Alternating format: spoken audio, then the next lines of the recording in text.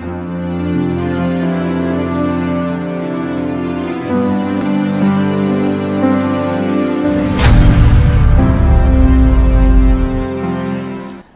आपका स्वागत है।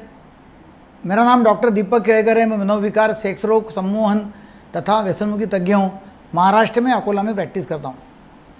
हमारे यहाँ दो हॉस्पिटल्स है। एक में हम रिश्तेदारों के साथ में पेशेंट को भर्ती करते हैं। दूसरे में बिना रिश्तेदार पेशेंट को भर्ती करते हैं और उनका इलाज करते हैं। सभी तरह का मानसिक समस्या जो है, सभी तरह की, उसका इलाज हमारे यहाँ होता है। सबके लिए मानसिक स्वास्थ्य और व्यसन मुक्त भारत, ये हमारा संकल्प है और इसमें हम काम करते हैं। तो आइए वीडियो में आपका फिर से स्वागत करता हूँ। अभी ये पेशेंट को देखिए, इसको बदन में दर्द, नींद नहीं आना, भूख नहीं लगना वाला ऐसी बीमारी थी। और लगता है कि भाई ये शारीरिक बीमारी है, मगर एक्चुअली होती है साइकोलॉजिकल बीमारी। है ना? तो उसको हमने फिर इलाज किया देखेंगे।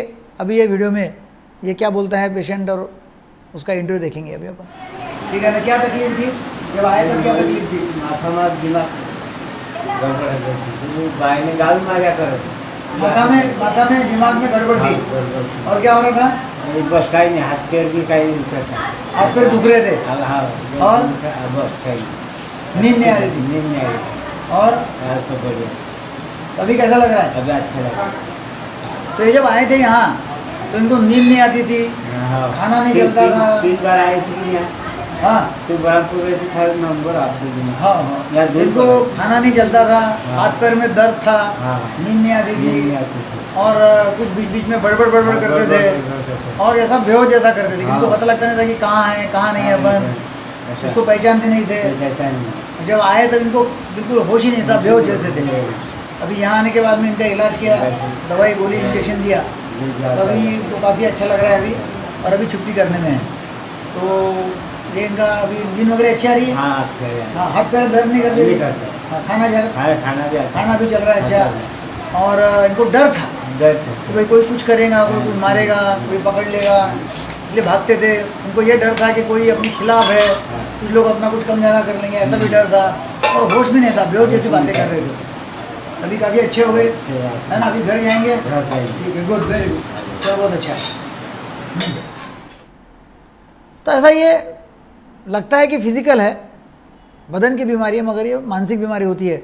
और फिर लोग घूमते रहते चक्कर काटते रहते इधर उधर और फिर जल्दी अच्छे होते नहीं है। उनको यदि जल्दी पिकअप कर लिया कि नहीं भाई ये बाकी इन्वेस्टिगेशंस नॉर्मल है तो वो अच्छा हो जाता है और अच्छा जीवन जी सकता है। अभी ये पेशेंट छुट्टी करने में है इसकी छुट्टी हो जाएगी। और ये अच्छा अच्छा तो हो ही गया ये मेंटल हेल्थ फॉर ऑल सबके लिए मानसिक स्वास्थ्य और मुक्त भारत हमारा संकल्प है। ये वीडियो आप लोगों को शेयर करो सब्सक्राइब करो लाइक करो। ज़्यादा से ज़्यादा लोगों को आप यदि शेयर करोगे तो लोगों को एक साइको एजुकेशन हो जाएगा। मानसिक स्वास्थ्य के बारे में जानकारी होंगी और लोग अपना अपना इलाज अपने अपने जगह पे कर सकते हैं। हम ऑनलाइन भी कंसल्टेशन करते हैं कि जहाँ लोग हमको ऑनलाइन कांटेक्ट करके काउंसलिंग कंसल्टेशन ये करते हैं और ऑनलाइन लोगों का काउंसलिंग करके हम इलाज भी करते हैं।